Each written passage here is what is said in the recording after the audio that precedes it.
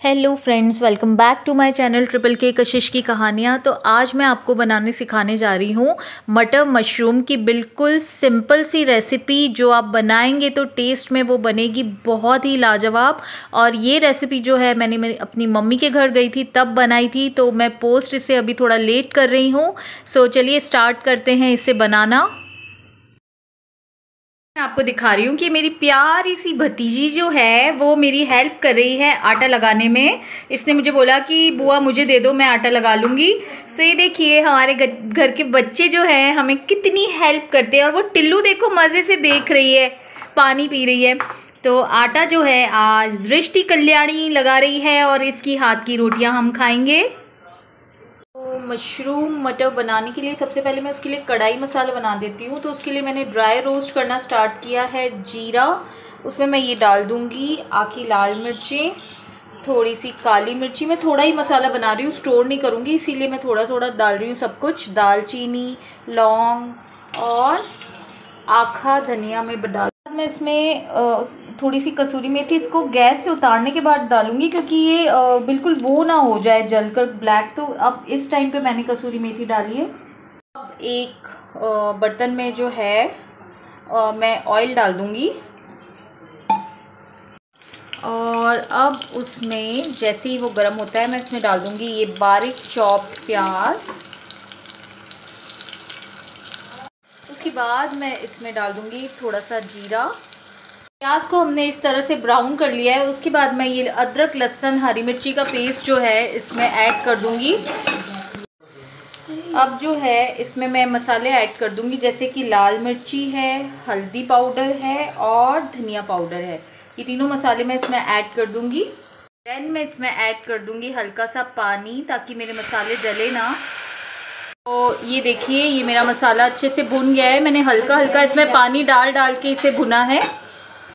अब इसमें मैं डाल दूँगी ग्रेट किए हुए टोमेटोज ये मैंने एक से दो टमाटर ले लिए हैं और इसे मैं इस ग्रेवी में अच्छे से भून लूँगी।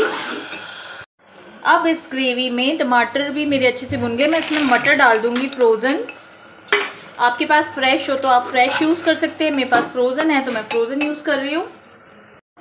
और ये मटर को हल्का सा भुनने के बाद मैंने ये कढ़ाई मसाला जो है, ये दरदरा सा पीस लिया है। ये मैं इसमें ऐड कर दूँगी। और ये मशरूम जो है, ये बटर में मैंने सोटे कर लिए हैं हल्का सा नमक डाल के। तो ये मशरूम भी मैं इसमें ऐड कर दूँगी अब, अपनी ग्रेवी में। अब इस ग्रेवी में मैं भुनने के टाइम पर ही हरा धनिया ऐड कर लूँगी ताकि हरा धनिया का भी अच्छा सा फ्लेवर इसमें आ जाए। अब मैं जो है इसमें हल्का सा नमक ऐड कर दूँगी मेरे टेस्ट के अकॉर्डिंग तो ये देखिए कितनी मस्त मेरी सब्ज़ी ऑयल रिलीज़ कर लिया है इसमें अब जो है मैं इसमें ये घर की मलाई और घर का मक्खन, ये दोनों मिक्स करके मैं इसमें ऐड कर कर देती हूँ। तो ये देखिए, सब्ज़ी कितनी प्यारी लग रही है और मेरी मम्मी को जो है, हर चीज़ में काजू डालने का बहुत शौक है तो मुझे काजू दे के गई है कि इस सब्ज़ी में काजू डालो। तो वैसे तो मैं ऐड नहीं करती हूँ बट मम्मी की डिमांड पे मैं इसमें ये काजू ऐड कर कर रही हूँ। अब हम इसमें जो है, हल्का सा पानी अगर आपको ग्रेवी टाइट रखनी है तो टाइट और लिक्विड रखनी है तो लिक्विड। मैं इसको थोड़ा सा मीडियम टाइट ही रखूँगी, ज़्यादा लिक्विड नहीं करूँगी तो इसमें मैंने हल्का सा गर्म पानी ऐड कर लिया है। और अब मैं ढक के इसे सिर्फ़ चार से पाँच मिनट के लिए पकाने के लिए रख दूँगी सिम पर। ये देखिए, ज़बरदस्त मेरी सब्ज़ी रेडी हो गई है, मटर मशरूम की, ये कितनी मस्त लग रही है। बस इतनी ही ग्रेवी मैं रखूँगी और गैस मैं ऑफ़ कर दूँगी। और लास्ट में बस मैं इसे हरे धनी से गार्निश करूँगी तो ये है मटर मशरूम। तो फ्रेंड्स ये जो मटर मशरूम की सब्ज़ी है, ये बनती है बहुत ज़्यादा डिलीशियस और बहुत सिंपल और क्विक रेसिपी है और फटाक से बन जाती है बिना किसी ताम झाम के। तो इसे आप ज़रूर बनाइएगा और और आपको क्या करना है मेरे चैनल को लाइक सब्सक्राइब और शेयर ज़रूर करना है फ्रेंड्स तो थैंक यू सो मच